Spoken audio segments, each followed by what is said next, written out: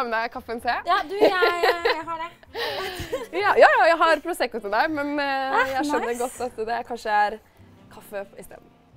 Spinning etterpå, men jeg kan kombinere det. Ja. Balanse er viktig. Yes. Det er det du pleier å si. Hvordan går det med deg? Du, det går fint. Ja, det går bra.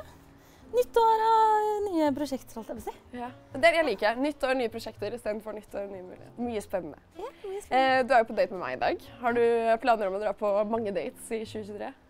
Ehm, vi får se. Jeg skal prøve å bli litt flinkere på det. Ja. Jeg er ikke så god på å dra på date, egentlig. Er du ikke det? Nei. Ja, ikke at jeg hadde trodd noe annet, han er ikke det, men ja, du dater så mye, din Nei Neida, men uh, hvordan er det typisk på date? da? Ehm, jeg tror jeg har vært på sånn en og en halv date siden jeg ble singel. Mm. Så hvordan jeg er på date, jeg vet ikke. Hvis jeg føler meg liksom ovenpå, eller føler liksom Jeg tror jeg liker meg ganske godt, så er jeg mye med meg selv og mye kulere. Men hvis jeg er veldig usikker, så blir jeg bare helt uh, nerd, rett og slett. Ja. Nå, Hva er det som kan på en måte gjøre deg usikker, da? Ja, det er et godt spørsmål, ass. Um, nei, jeg vet ikke. Hvis jeg bare syns de er dritkule eller hotte, og så sitter jeg der og bare Så fader gjør- ut? Ja, bare føler jeg gjør noe nerd eller sier noe teit, og så bare blir jeg enda mer usikker, og så bare uh, Ja. Jeg har en tendens til å være veldig klumsete. Ja, jeg skjønner veldig godt hva du mener. Jeg har hatt mange ganger hvor man på en måte er på en date, og så begynner man spørre om et eller annet jobbgreier eller et eller annet interessegreier, og så Ja. begynner de å bable. Og så her sitter jeg liksom og tenker sånn Skal jeg late som jeg skjønner hva du mener, eller hva du snakker om nå? Og så prøver man liksom å ta del i samtalen, og så skjønner man jo halvveis at det ikke funker. Men hva er ditt beste tips, da? Hvis du skal på en date, hvordan forbereder man seg best mulig? Mm, nei, det er vel egentlig bare det tipset jeg sier til meg selv hvis jeg skal på date. Um, å bare være seg selv. For det er jo på en måte deg den vedkommende skal like. Så hvis man bare er liksom stiv og kjedelig, så Mm. ja. Det er bare tap-tap, rett og slett. Dater du for kjærlighet, eller dater du for ligg? Uh, ja. Rett hva? Hvis jeg dater, så dater jeg nok for kjærlighet. Ja. Men hvis jeg Ja. Ja. ja. Eller jeg tror ikke jeg hadde giddet å dra på en date hvis det bare var for å ligge, liksom. Mm. Hvordan er det man går frem da? da? Um, hvis man skal ligge? Mm. Eller hvis man skal Ja, Begge deler? du bare, Ja! Ja, Ligger! Nei, da er det vel eh, få på seg noen ølbriller på byen, da, eller? Mm. Det er det som er lettest muligheten. Nei da, jeg gjør ikke sånn. Jeg, er ikke det hele sånn. Du bruker ikke Tinder eller noe, liksom? Nei, jeg gikk av Tinder. Jeg har Raya, da. Ja! Å, det har jeg òg! Ja. Eller jeg hadde, ikke nå lenger. Men uh, jeg Nei. syns det, det var for dyrt. Du, det er dritdyrt! Kanskje sånn 500 spenn i måneden. Jeg vet jeg er jævlig gjerrig, da. Så jeg, eller eh, ikke det skal man kanskje ikke si på date, men, eh, Men på, på Raja Ja. så er jeg gjerrig. Kan du si Ja. eh, Har du matcha med noen gøye? Mm, ja. Jeg øh, Nei, ikke noe sånn Ikke noen liksom kjendiser sånn, men det er sykt mange kjendiser der. Ja! Og så er det sånn. Hollywood-type thing. Ja, ja, skikkelig. Så det er jo skikkelig mye bra der. Er, Jeg har jo hørt at hvis man eh, hva skal man si, outer hvem som er på Raja, så får man ikke komme tilbake. Eller Faen er heller, ja. sånn- ja. Jeg har jo sånn det. screenshotet så mange ganger og glemt meg og sånne ting, så jeg er på nippet til å skitte ut. Jeg har fått warning flere ganger. Jeg er sånn, faen, jeg må trykke unnskyld! Og så bare, ja. Så- sorry, I Ja. didn't mean to. Nei, jeg DM'a Benjamin Ingrosso der en gang. Eh, Det var lenge siden, da, før han på en måte fikk kjæreste. Fikk aldri noe svar. Det gjorde ikke det, nei. nei. Alle jeg DM'a på Raja, har jeg blitt lest, men så er det ikke svart. Nei. Men uh, altså, jeg har jo, jeg syns jo på en måte dating-apper har vært en sånn greie hvor jeg mest gjør når jeg sitter på do. Typ. Ja, ja, bare sånn litt sånn tidsfordriv. Ja, eller Fordi- selvbekreftelse. Ja, ja, men det er helt fair. Ja. Det er sånn, Jeg matchet med sykt mange på Raja, men så er det sånn så skriver de så det sånn Nei, jeg gidder ikke å svare. Eller liksom bare Det er bare for å få den der oh, litt gøy. Ja, den, den piffen, liksom. Men skal sies at grunnen til at det var så dyrt, er for jeg har den premium, da, så jeg kan se hvem som liker meg. Ah, kan ja. man det? Ja, ja, lett. Og jeg, jeg er sitter sånn- her bare Jeg er sykt gjerrig, og jeg snakker om det billigste. Det var 179 for den jeg sjekket. Ja, ja, ok, ja, men nice. Da, Ja. hvis, det, hvis jeg skal tilbake igjen, så vet jeg det. Ja. Men eh, hva slags eh, fyrer er det du dater, da?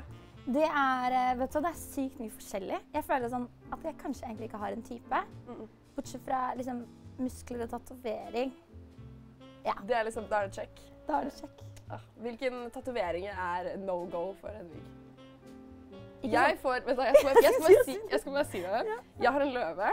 Og det er sånn, alle sånn TikTokere og sånn jeg ser på, er sånn Ja. Hvis de har en rose, en klokke eller en løve, så er de jævlig harry. Så sitter jeg og ser på min og bare sånn Nei, det er ikke meg.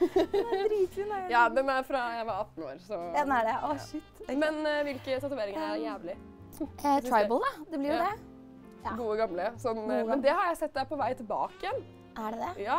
Eller nå har jeg sett sånn Gen Z på TikTok eh, som tar det okay. sånn eh, nedpå Hva heter det?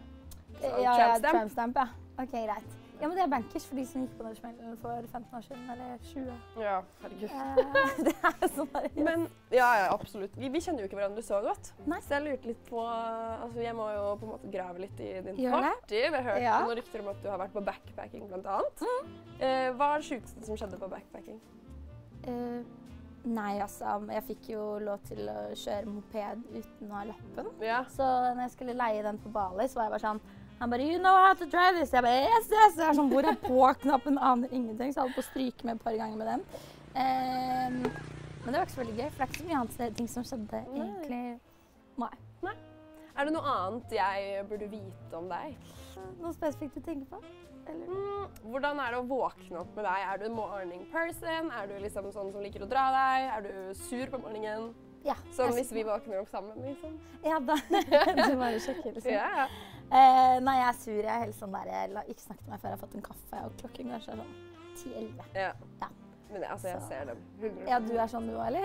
Jeg, jeg, Nei, kan, jeg, jeg kan ikke si en dritt. Du kan ikke si det. Du Jeg, hadde lyst til å si ja, Ja. eh, men nå jeg føler at jeg står opp så tidlig at det blir natt igjen. At Ja. ikke det er tidlig. det er bare sant. sånn jævlig langt, langt, Ja, ja, langt ja. bak, så man føler seg helt sånn uansett. ja, det skjønner jeg. Det skjønner Men eh, jeg føler meg på den uh, kaffegreia. Jeg er helt, Ja, helt på enig. ja. Men eh, hva slags dater er det du har på en måte vært på da? Du har jo du har vært singel før David-greia, og så Ja. er du singel etter. Hvordan er det liksom, Hva er den verste daten du har vært på? Mm. OK, ja, så den verste daten Som sagt, jeg har bare vært på sånn en og en halv. Mm. Så men jeg tenker meg om er det to og en halv. Um, men det, var, det er ikke sånn verste date. Det er bare det at um, En har styrt med, styrte med en stund, da. Yeah. Og så liksom var det sånn ah, Endelig skal vi på date, liksom.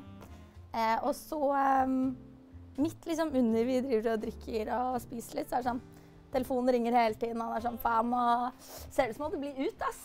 Og jeg bare hm, Nei, ja, altså mulig det blir, eh, blir byen i kveld, og gutta maser og sånn. Jeg sitter der bare Jeg trodde vi hadde det drithyggelig.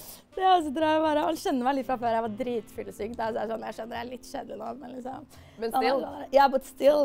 Uh, så han bare ja, ja. Så dro han seriøst på byen, og jeg var sånn Å, fy faen. Altså, jeg følte meg så sykt ditchet, liksom. Uh, så det er kanskje det verste. Det skjønner jeg godt. Ja. Ikke snakk om det kule som skjer etterpå når du er på en date. Da Nei, vil man gjerne at det skal være det kuleste. Ja, jeg trodde du skulle liksom, ha en dritkoselig langkveld, holdt jeg på å si. Ja, hele aften. vet jeg. Sånn utenom å ha tattiser og ha muskler, hvordan er det man får med seg deg igjen? Um, kanskje være sykt morsom. Ja. Dritlættis og sjarmerende. Det er liksom det som skal til. Ja, jeg føler egentlig det. Når du først eh, møter en jævlig lættis fyr Mm. med tatoveringer og muskler, Ja. er du en lyse på eller av person? Jeg er alltid av, ass. Veldig kjedelig. Nei, det er ikke kjedelig. Hva er du? Eh, sånn mellomting. OK, ja. Hvis det er liksom sånn taklys fra Ikea, og du bare Ja. føler at du sånn der sminka er litt sånn på halv tolv, for du er vært ute på byen, men du skal sitte oppe og bare føle at alt bare ikke er veldig flatterende. Så liksom mellomting. Mellomting. OK, greit. Det er bra. Har du noe musikk du liker å ligge til? Nei, fy faen. Av. Det skal, alt skal av. Nei, fy. Nei, ikke noe lyd. Det hører jeg sånn der. Og så føler man liksom i rytmen at det går, da spyr jeg, liksom. Så jeg var sånn Jeg syns det er sykt mye hottere å bare ikke ha noe musikk. Skal jeg fortelle en morsom greie? Ja, gjør Vet du hva det rareste jeg har ligget til her?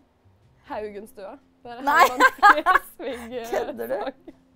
Skjedde tror det det egentlig? helt tilfeldig. Eh, ikke ha Spotify på shuffle er egentlig eh, Ja. tipset. Det var eh, Av en eller annen grunn sist så kom det på liksom watermelon? Watermelon sugar. sugar. Men den er På litt sexy, da. Ja. Ja, på, så var det sånn Ja, skal vi På repeat, ja. Hvis jeg får Og så er man stuck med den, det scenarioet Ja, ja, i ja. hodet forever etterpå. Ikke sant? Ja, ja, ja. er, du sånn som, eh, er du sånn som skjuler telefonen din når du er på date? Ja. Ja, jeg syns det er dritfrekt. Mm. Og jeg har heftig konsentrasjonsvansker. Så hvis noen har mobilen sin oppe, og den driver og lyser hele tiden, så blir jeg bare sånn Så kan det være en setning, så bare får faller jeg helt ut, liksom. Ja, i hvert fall hvis, hvert fall hvis du er på date med noen, og så driver telefonen din og lyser Ja. hele tiden. Eller den personen sin telefon og lyser hele tiden. Så blir det sånn Hvem er det du Ja, eller liksom bare Er jeg så Men uh, det er fair å si sånn To sekunder, jeg skal bare Ikke sant? Det er helt fair. Hva med deg? Eh, jeg også prøver å legge vekk telefonen, Ja. mest fordi jeg er helt rik. Jeg blir Ja. kjempelett distrahert, og så du føler jeg ikke at jeg mener noe vondt. Men det er Nei, liksom sånn Jeg skal bare se den ned. Og litt. Litt, Ja, typ. Nå tar jeg, jeg føler meg som sånn her kvinnenedtrykkende. Jeg er bare sånn Ja, penger eller pikk eller Men uh, hvordan er det på kjøkkenet? Og så, og så ler du! du bare, for du tar Laddies før det, og så er det så Ja, altså Jeg er jævlig rotete, da. Ja. Men mm, Men det smaker godt. Mm. Ja. Du er liksom wifi. Ja. Ja. Nei. Ja. Nei. Nei, du bare nei. Nei, bare på den derre smaksdelen. Lage yeah. mat. Jeg Men ikke ikke på noe annet. eh, jeg har jo sett i seriene sånn at du har vært veldig god til å lage mat. Så takk, du får lage mat til meg neste gang. Ja. Ja. Veldig bra date. Føler at jeg er litt sånn eh, Andrew Tate her. Hvordan Ja. er det på kjøkkenet? Penger lalalala. Jeg liker det her. Kjør på. Huff a meg. Eh, har du sett sånn parspill før?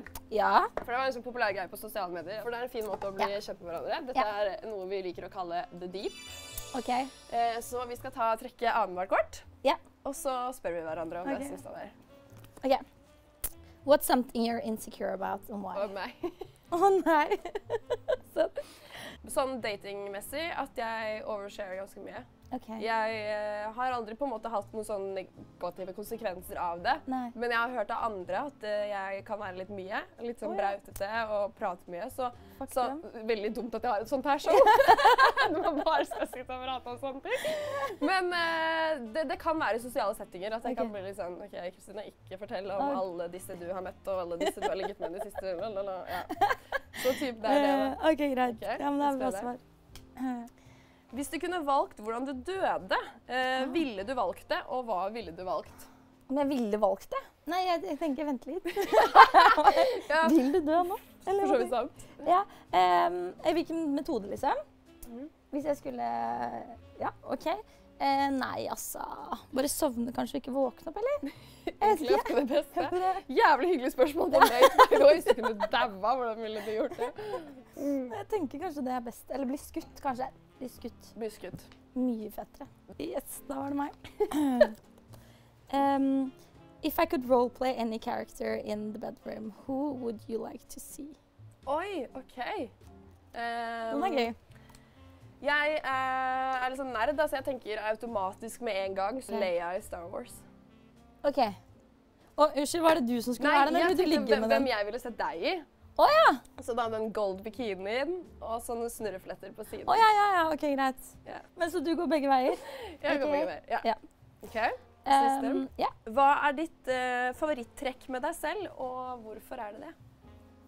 Å, det er jo Nei, det, det, det kan ikke du fortelle meg, det. Jo, du har kjempefint smil og kjempefine øyne. Men er du ikke enig? Men så personlighetsmessig, hva er det du liksom føler at du bring to the table? Um, kanskje at Eller du sa at du var usikker på den oversharingen. Mm. Ja, det er kanskje ikke alltid en pluss, men sånn, jeg føler i hvert fall at jeg gir av meg sjæl, Yeah. Ja. Ja. Så bra.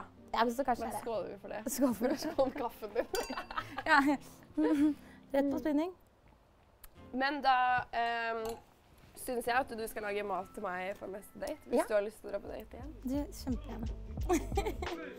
Husk å abonnere hvis du vil ha med deg flere cheesy talks. Jeg har selvfølgelig invitert mange flere kjendiser, og mer kommer. Så abonner og sett på varsling, så går du ikke glipp av noen av de fremtidige episodene.